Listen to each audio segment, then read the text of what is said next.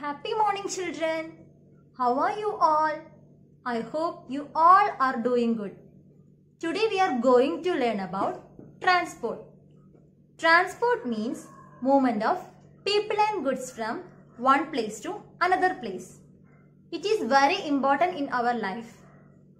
If we want to go from one place to another place, how will we go? We can run or we can walk. If we want to go very far, what will we do? How will we go? Yes, we can use vehicles.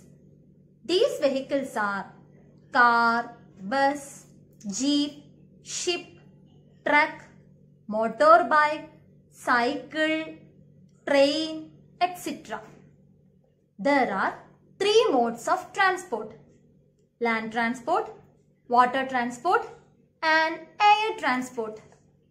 Let us learn each of them in detail. Land transport.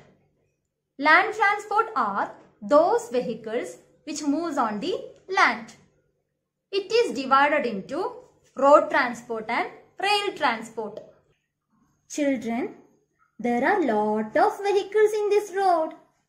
Car, bus, van, auto rickshaw, motorbike, bicycle, jeep, truck are the example of road transport. These vehicles moves on the wheels.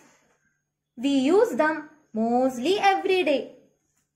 We use road transport in our day-to-day -day life to go to school, market, office, etc.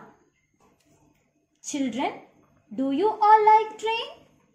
Yes, everyone like train. Train is a rail transport.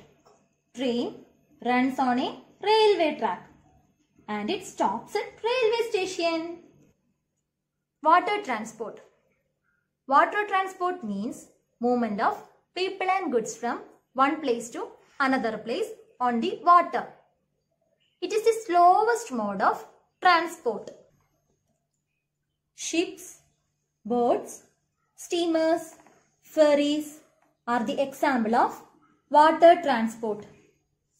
Big ships are used for goods transport. Ship stops at a harbor. Air transport. Air transport can be used to travel from one place to another place through the air. It is very expensive. It is the fastest mode of transport. Aeroplanes and helicopters are the example of air transport. Aeroplane always takes off and lands only at an airport. So, today we learned modes of transport. I hope you all are enjoying this session. See you again shortly with an interesting topic. Thank you children. Stay home, stay safe.